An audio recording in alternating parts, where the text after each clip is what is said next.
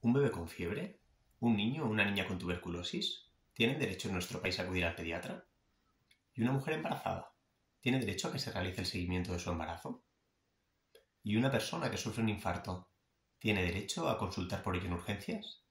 Sobre el papel sí, pero en la realidad hay comunidades autónomas donde este derecho no se garantiza para todas las personas. Desde Médicos del Mundo constatamos con preocupación que la exclusión sanitaria sigue existiendo de manera global en nuestro país. Tanto es así que en los primeros nueve meses del año nuestros equipos han acompañado a casi 9.000 personas que han encontrado barreras a la hora de acceder al sistema sanitario público. Y en nuestros acompañamientos con ellos hemos identificado más de 17.000 situaciones en las que se han vivido vulneraciones del derecho a la salud.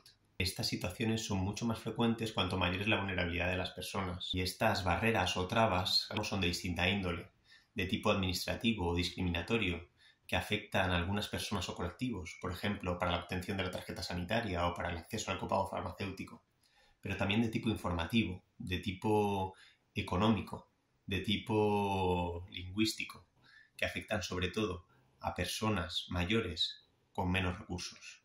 Por ello, desde Médicos del Mundo seguimos reclamando y trabajando por conseguir un acceso sanitario universal y un sistema de salud público de calidad que no deje a nadie atrás. ¿Te unes?